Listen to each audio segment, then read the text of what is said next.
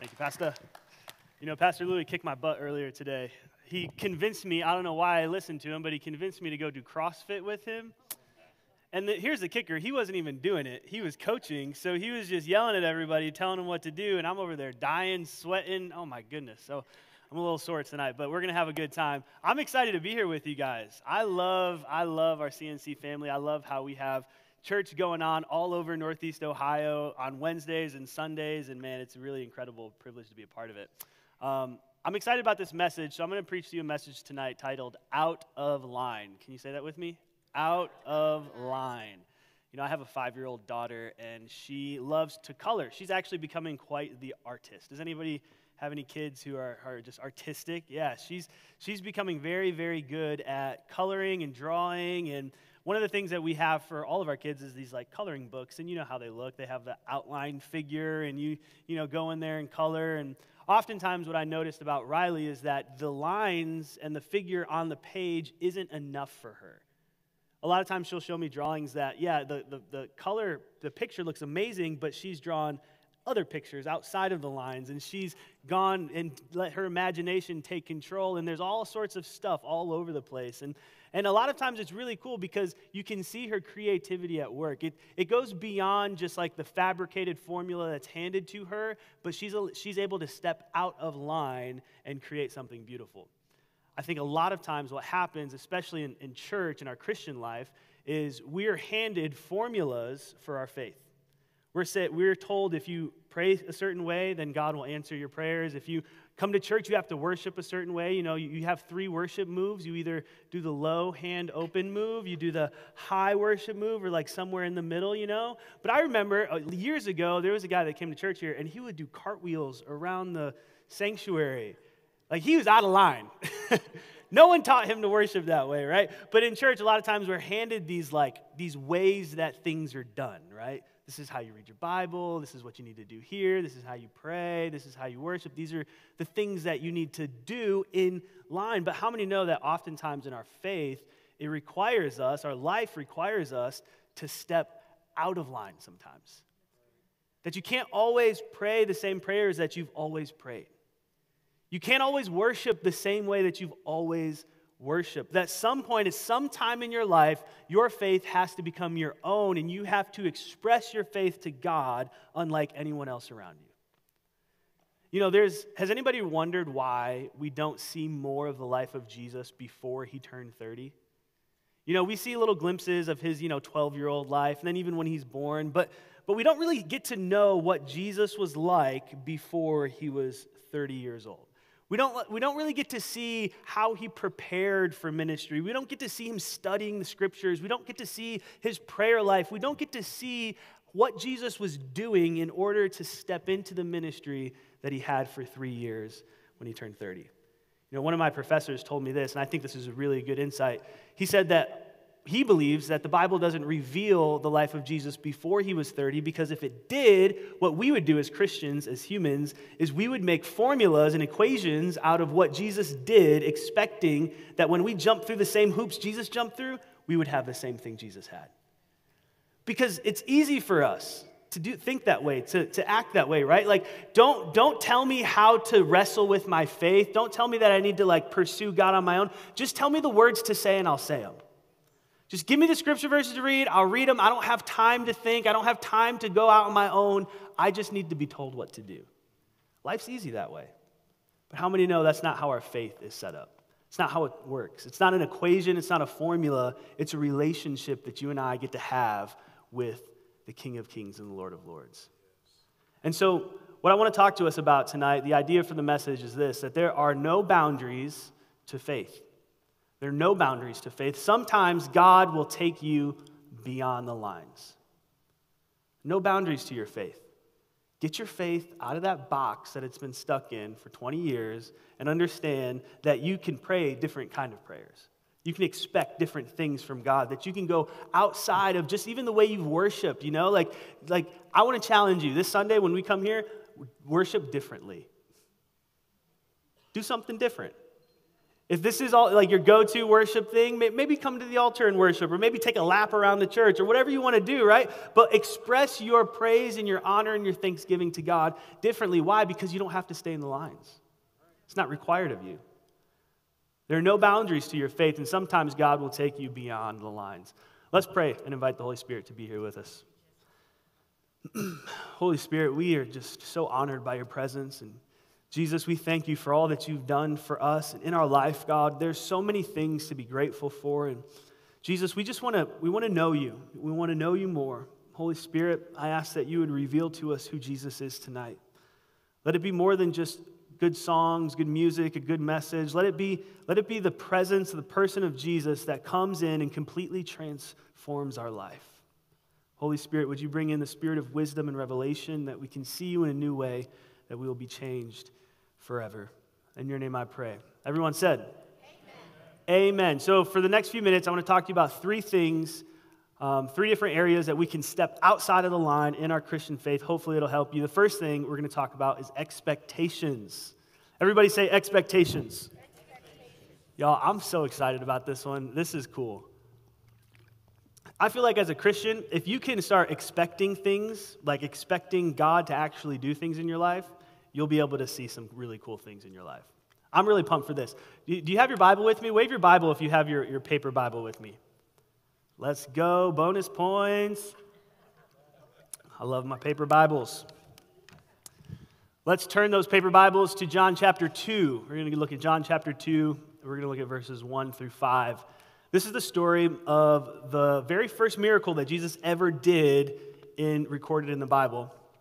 And um, in John chapter 2, verse 1, it says this On the third day, there was a wedding in Cana of Galilee, and the mother of Jesus was there. Now, both Jesus and his disciples were invited to the wedding. And when they ran out of wine, the mother of Jesus said to Jesus, They have no wine.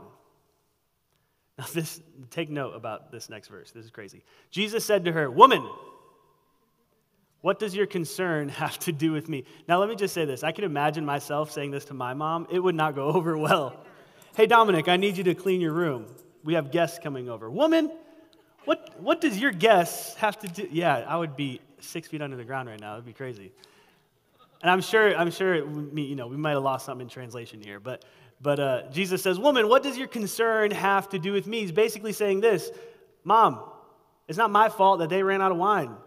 I am not catering this wedding. They didn't prepare accordingly. This is not my fault that they ran out of wine. How many know this? That Jesus came to this earth to do more than keep your party going. This was so outside of the purpose of Jesus. The Son of God took on flesh so he can die on the cross and forgive all of humanity for their sins, and his mom's asking him to make more wine for their party. Like, how degrading is this, right? Like, come on, mom, really? I'm the son of God, and you're asking me to just make more wine. Come on. He says, My hour has not yet come. In verse 5, his mother said to the servants, Whatever he says to you, do it. Like, if you're Jesus, I would look back and say, Mom, what part of that did you think that I was agreeing to make more wine? Like, where did you get yes in the sentence I just told you? Because when I read that, it is very clear that Jesus does not want to make wine for this wedding. He says, Woman, this doesn't concern me. He says, My hour is not here. And his mom said, Hey, guys, just whatever he says, just do it. What? Here's what I gather from this, this story that if Mary's faith wasn't full of expectation, Jesus' first miracle wouldn't have been turning water into wine. If Mary wasn't filled with expectation and perseverance, maybe Jesus' first miracle wasn't turning water into wine. Maybe this doesn't happen if Mary goes, You're right, okay, I'm just gonna sit back. Maybe this, this doesn't have this miracle doesn't take place if, if Mary didn't expect something from Jesus. And this is what I want to ask us today, and this is what I want to think us to think about. When you wake up in the morning, what do your expectations look like from God? When you walk through these doors, like when you came here tonight, what were you expecting to get when you got here? Were you expecting to see some of your friends, say hi, here's, here's some great worship music, hear a good message? Or were you expecting to meet the King of Kings and the Lord of Lords. Like, as Christians, a lot of times our expectations begin and end with hoping bad things don't happen in our life. It's like, oh man, I forgot to get gas last night. My car's on E. I really hope that I can make it to work. And that's like what we expect God to do. God, get my car to work. It's like, really, that you're going to leave your house and that's going to be what you want the King of Kings and Lord of Lords to do in your life. Like, as Christians, if we can begin to believe and expect more from God, this is what I think. I think that He will be, begin to do more in our life. Just as his mother Mary said, Hey, listen, guys, just do whatever he said. She had an expectation of Jesus that Jesus honestly didn't even want to fill, but it was in response to the faith that Mary had where Jesus said, Okay, I'm going to fill that desire. And a lot of us, we don't have any desires for Jesus to fill. We don't ask him to do anything. We don't expect him to do anything in our life. And as a result, nothing happens, and we're like, Oh my goodness. Man, what does the Bible say in Ephesians chapter 3, I believe it's verse 20? He says, To him who is able to do above all that we can ask, think, or imagine, right? But we don't ask, think, or imagine anything. And so Jesus doesn't have a lot to work with to exceed our expectations. our expectations are at zero. So Jesus is like, This is easy. I don't have to do anything right? But as Christians, if we were to get up, like Sunday when we come in here, man, let, let us walk into this room saying this Jesus, I expect the kingdom of heaven to fill this room. I expect in 20 years to look back and say, man, July 17th, 2022, that was the Sunday that changed my life forever. That was the Sunday where I showed up to church, God showed up to church, and man, the, the entire city of Lorain was different. Why? Because I expect God to move. I expect Him to do something. I expect my life to be filled with the goodness of God. When I go to the grocery store, I'm not just going to buy eggs, I'm expecting a divine encounter from heaven to happen on my way. I expect next time I open the mailbox, they're not just to be bills in there. Come on, right? Like you, you have to expect the goodness of God in your life. You have to adjust the way you think, the way that you approach your faith. You know, there's a, there's a story in the Bible that I love. It's such a great story, but it's, it's the Samaritan woman who her daughter is sick. She comes to Jesus and she says, Jesus, can you heal my daughter? And Jesus basically kind of dogs her out. He says, Listen, woman, I'm, I haven't been sent but to the children of Israel. I can't give the, the children's bread to the dogs. And at that point, 99% of us in this room would have done this. Okay, Jesus, because we don't expect anything more. But what did that woman do? She said, Jesus, listen, even the dogs get a little bit of crumbs. And in that moment of expectation, in that moment of stepping out of the line where everyone else would have turned back, everyone else would have given up, she steps out of line and she says, No, Jesus, my expectation is that you heal my daughter. And Jesus says, Wow, what great faith. I've never even seen this in all of Israel. And her daughter's healed. Come on, church, we've got to start believing. We've got to start expecting. We've got to start stepping out in faith and really pursuing the goodness of God in our life. On the opposite side of that coin, there's another story in the Bible of a young man. He is a rich young ruler. Remember this story? And he comes to Jesus and he says, What, what can I do to inherit eternal life? And he, he, he essentially asks Jesus if Jesus if he can follow him. And, and Jesus says, Listen, you can follow me. This is what I need you to do. I need you to go sell everything and come with me. And this young guy looked at all of his possessions and then looked at what he didn't have is faith and expectation. And he said, Man, I can't give this up. But only if he would have had a little bit of faith only if he would have expected something from Jesus, like only if he would have said, you know what, I might have to give this up, but there's something attached to this man Jesus that is so much better than what I have. I'll give everything away just to have him. But he didn't. He didn't. And there's so many Christians that lack that same faith. There's so many of us that don't have the faith required to step out of line, to reach forward with our expectation and say, man, I have the opportunity to walk with the Son of God. But it's too expensive. It's too much. Church, what are you expecting when you leave your house?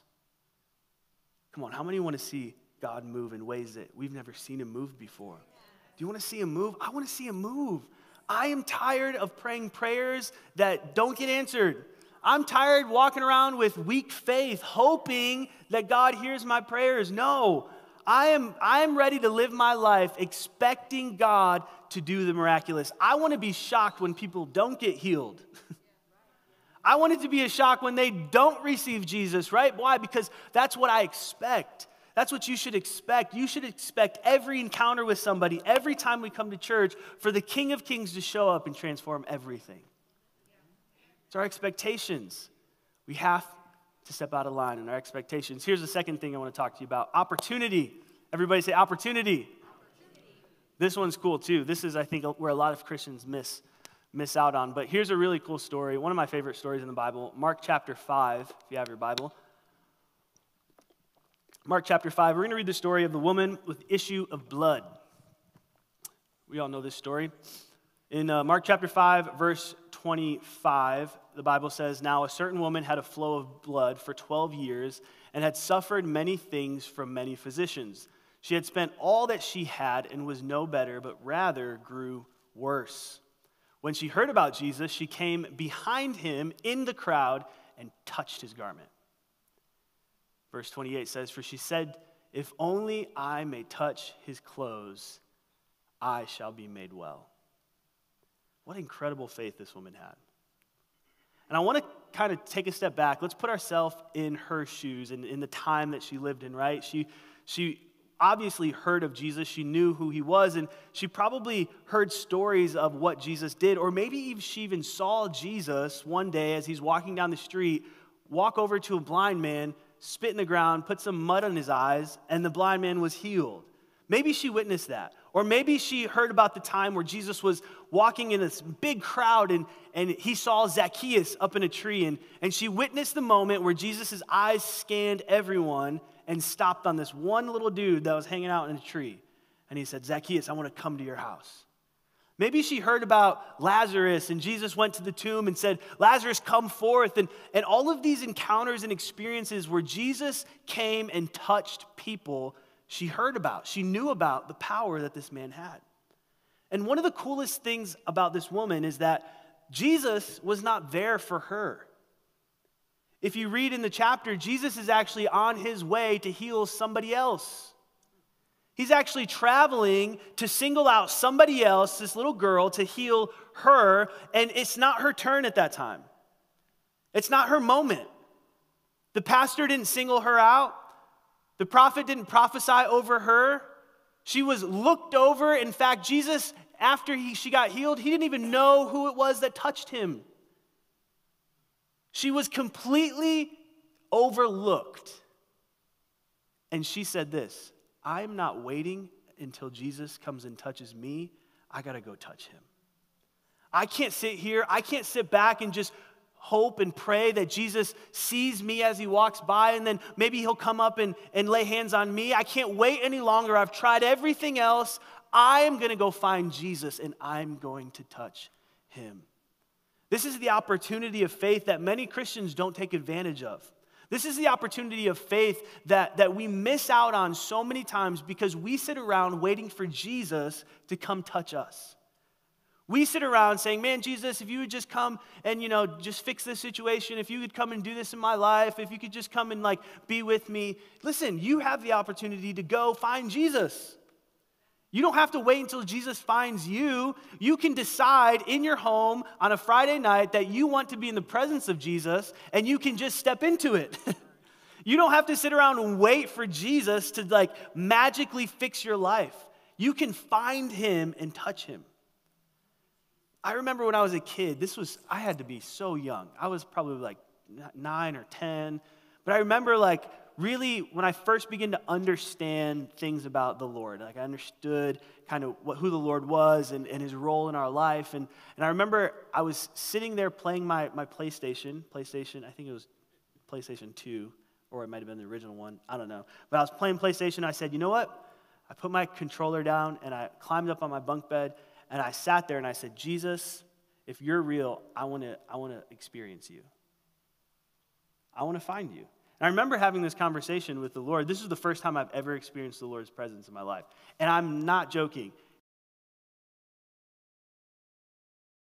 ever had with the Lord. All I remember as a kid was literally laying in my bed, bawling my eyes out, crying because the presence of the Lord was so thick in my, in my bunk bed. it was. It was crazy. It was the first time I ever experienced the Lord, but all it took was me going to find Jesus. Jesus didn't interrupt my video game. He didn't interrupt me when I was playing, you know, Mario Kart. I set my Mario Kart down and I went and found him.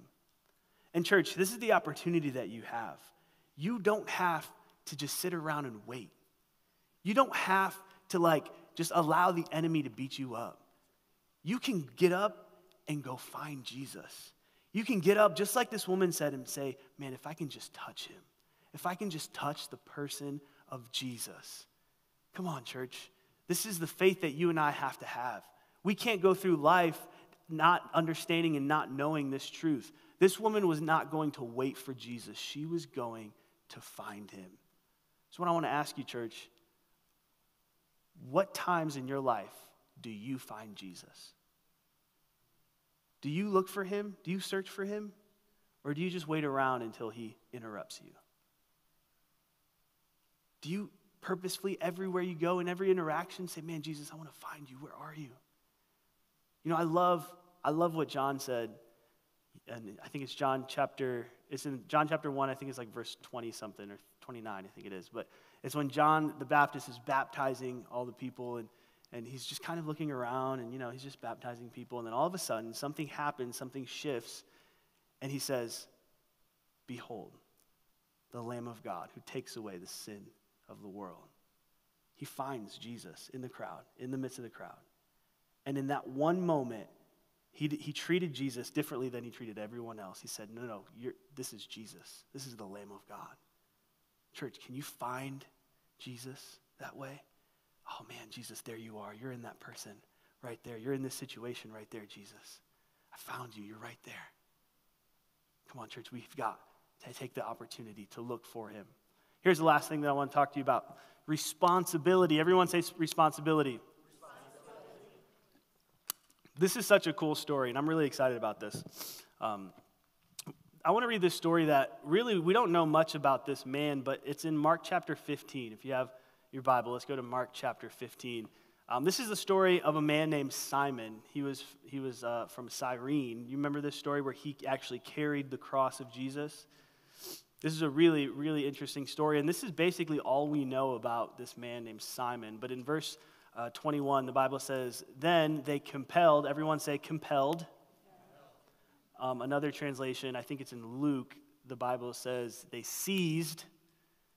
This word is basically telling us that they force, they used force to make Simon do this. Simon didn't volunteer to carry the cross. They compelled him, they forced him to carry the cross.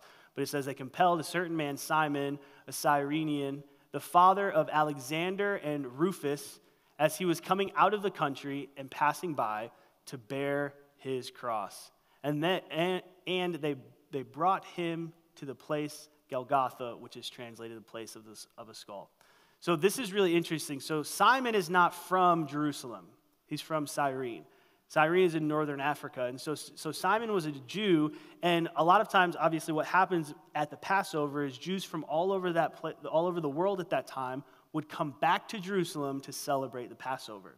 And so Simon isn't from around town. And it, the Bible tells us he's just passing by. So there's a good chance that before Simon got to Jerusalem, they, he never heard of who Jesus was. He was from Cyrene, really far away. They didn't have Twitter, you know, there was no Facebook viral videos of Jesus healing people going around. Like, he didn't know who this man Jesus was. And, and it's probably safe to assume that as he came into Jerusalem, he heard stories about this, this dude that was walking around healing people, this guy that was raising the dead, right? But he didn't know who Jesus was. He didn't know that this was, you know, the Son of God. I'm sure he heard a lot of different things, but Simon was like somebody who's coming in from the outside, right? It's really important for us to know that. And the Bible tells us that he was forced to carry the cross of Jesus. That he wasn't sitting on the sidelines like, oh, let me do it, let me do it. I want to carry the cross of Jesus. This is the Son of God. I want to, I want to bear his cross, right? Because that's what we think we would have done if we were there. Like, oh, Jesus, what an honor to bear your cross. Come on, let's go. But he was like, no, dude, I'm not carrying that dude's cross. Like, what? And then the soldier's like, yeah, you're going to carry the cross. He's like, okay, I'll carry the cross. Right? He was forced into this. And Simon's life was interrupted, and he was given the opportunity to bear the burden of Christ. Like, I want us to really understand and, and look at what happened in this man's life. Like, he could have been on the way to the market. He could have been on the way to his friend's house. He could have just been hanging outside of his house, the place he was staying, and saw this crowd forming and just kind of walked in the crowd. And all of a sudden, as this man was going through his normal everyday life, he had the most incredible opportunity that any human could have in that moment. He bore the cross of Jesus and carried the, the burden of, of Christ. Like, imagine your life being completely interrupted and you bearing the cross of Jesus.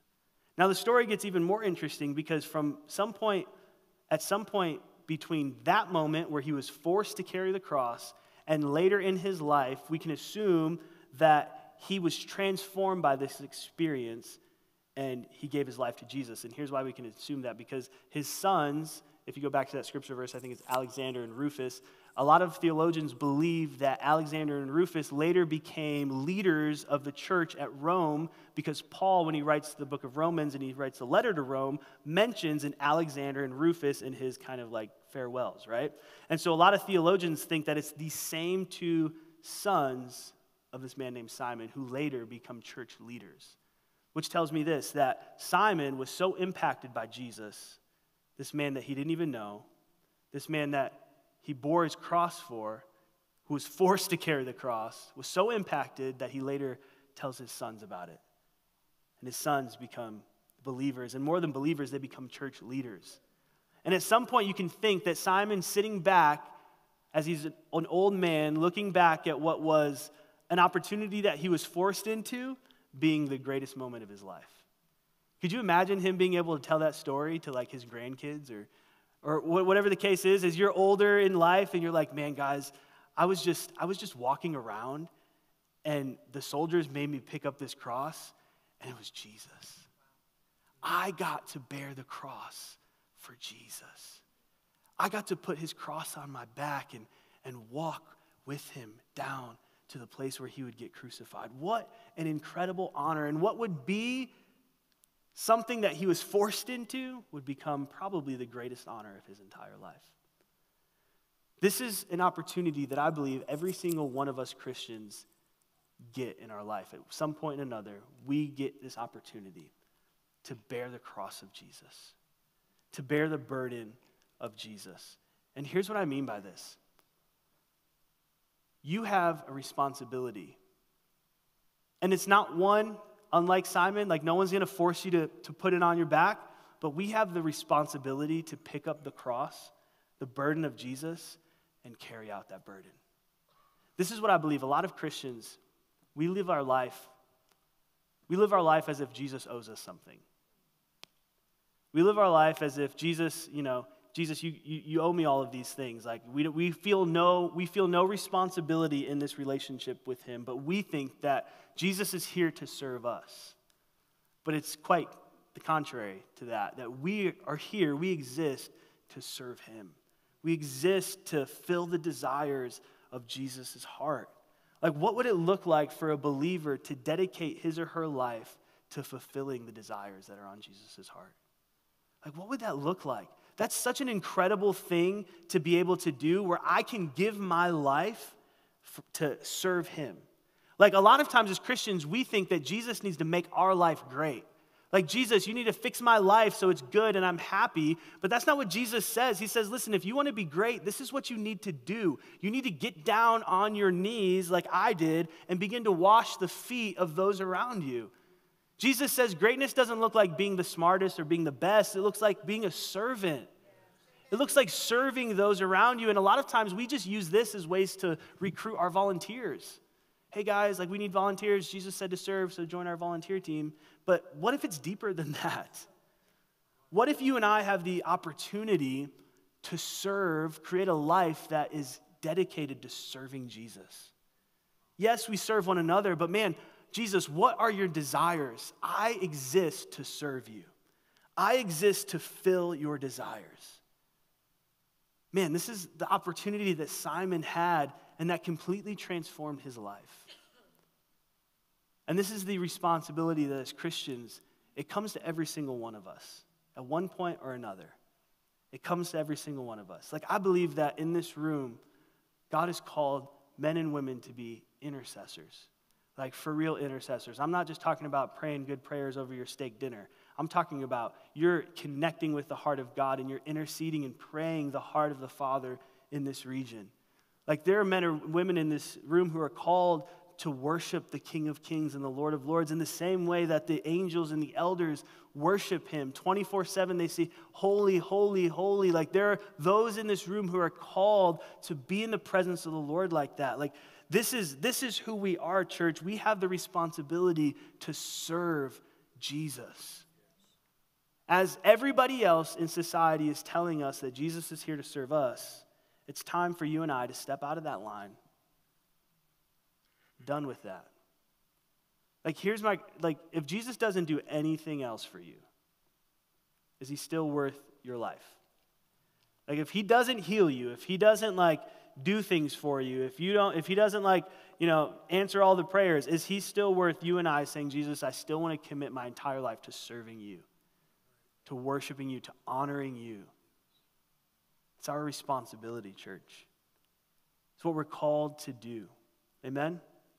Simon's life was interrupted, and he was given the opportunity to bear the burden of Christ. Completely interrupted. Let that be our prayer tonight. Jesus, will you interrupt our life? Will you interrupt us and give us the opportunity to serve you? Something that might feel intimidating like, here, here's what I, I just hear the Holy Spirit saying this now that, that that opportunity has come to some people in this room, and you've not taken it because you're scared, because you're intimidated, because you don't think you can, you can, you can do it. And I can imagine Simon being a little scared, a little frightened. That's a big piece of wood. I don't know if I can carry that. I don't know if I can do it, Jesus. Don't think of it as a oh my goodness, I don't want to do that. Think of it as this is, this is an honor. This is a privilege. You get to serve the King of Kings and the Lord of Lords. This is our responsibility. This is our honor. This is our privilege to do. Come on, church, stand with me as we close here tonight. Here's the idea there are no boundaries to your faith. Sometimes God will take you beyond the lines. Holy Spirit, we just ask you right now in this moment that you would that you would interrupt our life, interrupt us, interrupt our, our normal day to day life. Maybe we've become, maybe we've gotten in too much of a routine with our faith where we just, we just go through the motions, God. We just go to church and we read our Bible and we do these things. We're going through the motions. And Holy Spirit, I ask that you would completely interrupt us right now interrupt us the way Simon was interrupted on his way to the market or his friend's house. His life was completely changed, and he was given the opportunity to serve Jesus. Would you interrupt our selfish life right now and show us how we can give our life to the King? Give everything we have to Him.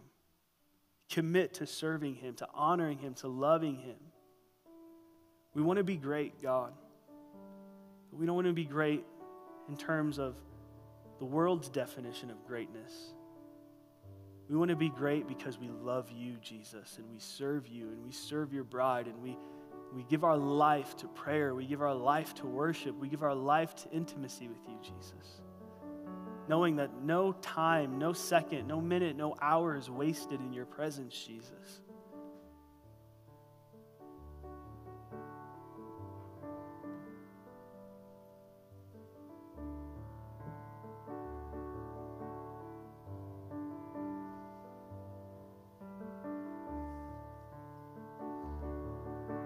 I feel like tonight there's some, you know, was out in Valley View last week and preached this message out there, and man, the Holy Spirit was saying this so clear, and I, and I feel the same. I feel the same here tonight that that there are gifts and mantles and burdens, whatever you want to call them, available tonight.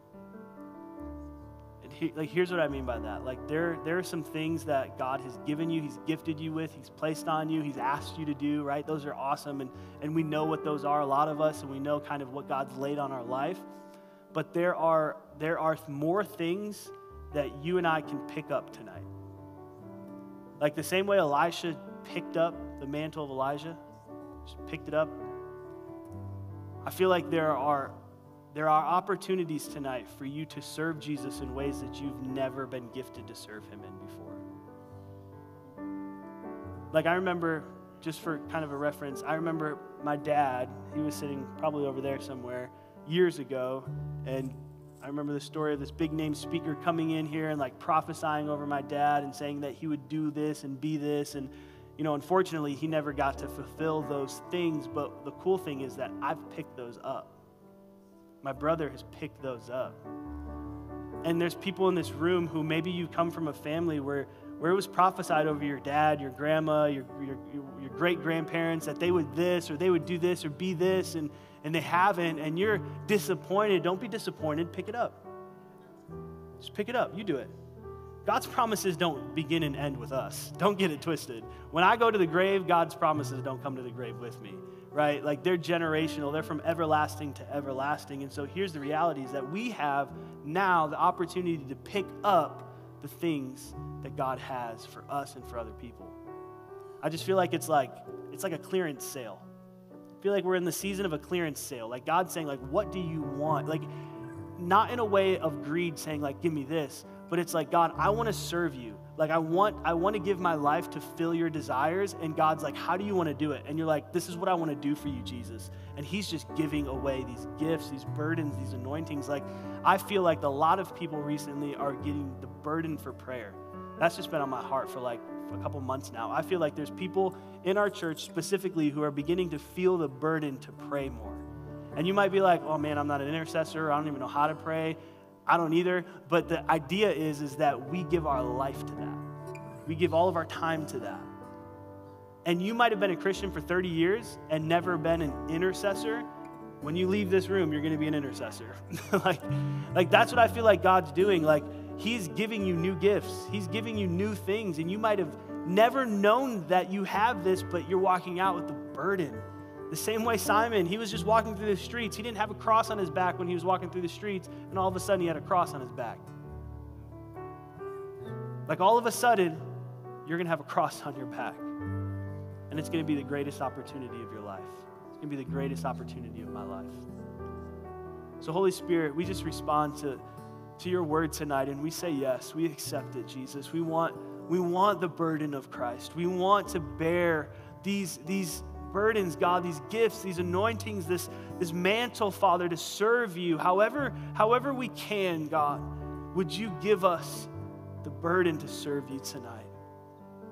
That we would give our life to just love on you, Jesus. That we would give our life to serve you, to fill your desires.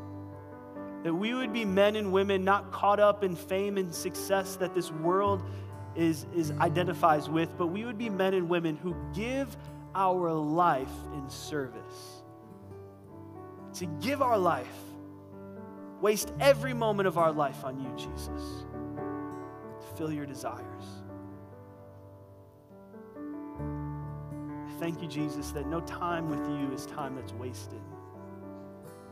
And No time in your presence is time that's wasted, Jesus. That every moment with you, Jesus, is, is specifically designed to change the fabric of reality. That our prayers, God, through intercession, it's, it's establishing your kingdom here in this world. Pray that you would raise up intercessors tonight. Raise up people who are burdened for prayer, that are consumed with prayer, God who give their, their days, their hours to prayer, Father God, and, and maybe even not even saying anything, but just, just, just being in your presence and feeling your heart, God.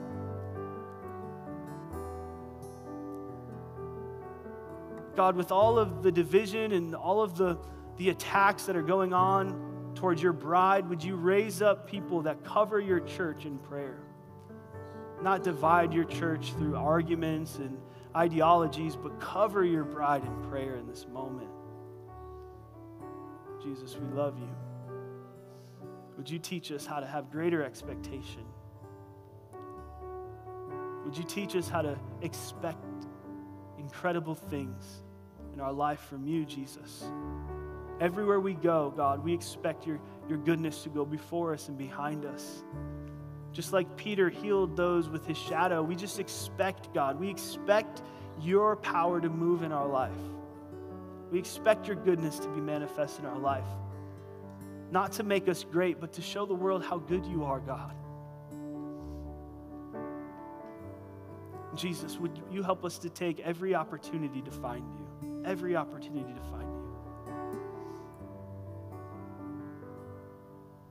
We love you tonight. In your name I pray.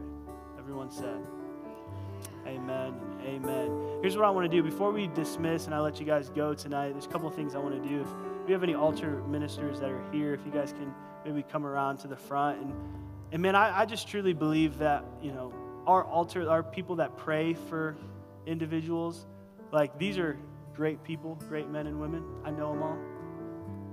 And the cool thing is, is that this isn't just like a, hey, we want to give you a hug and then send you on your way. Like I came here tonight expecting God to do miracles. I came here tonight expecting the kingdom of heaven to be established in this region in your life, in my life. And if you need a move of God, if you're saying, listen, I, I, need to find Jesus, listen, I need, I need this in my life, we want to pray with you. We want to believe it. We want you to walk out healed. We want your family member to, to be healed right now in this moment.